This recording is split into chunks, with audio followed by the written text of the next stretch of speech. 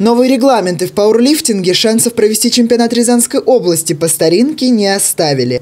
В этом году все оборудование лицензировано. Для нас это первые соревнования, проходящие в таком формате, в таком помещении, с использованием э, всех э, возможных технических средств, в соответствии со всеми регламентами Федерации пауэрлифтинга России и Международной Федерации пауэрлифтинга. Этот чемпионат э, позволяет спортсменам подтвердить свой разряд, либо выполнить разряд э, до уровня кандидат мастера спорта.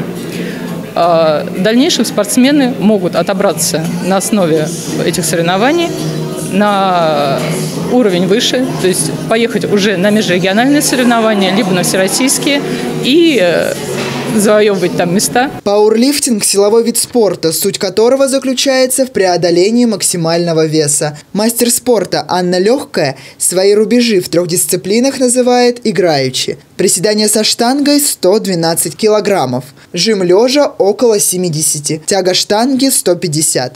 Такое под силу не каждому мужчине. Изначально а, нужно было приучить себя ходить в зал. То есть едешь домой, не думаешь, хорошо, плохо тебе, надо, не надо. Остановился на остановке, идешь в зал. Привычка выработана, сейчас без этого тяжелее всего пропустить тренировку. Пауэрлифтинг – вид спорта довольно специфичный. Это, конечно, не тяжелая атлетика, но здесь тоже есть свои мастера, и они также соревнуются на пределе сил, как мужчины, так и женщины. Герман Гущин, Станислав Кудряшов, телекомпания «Город».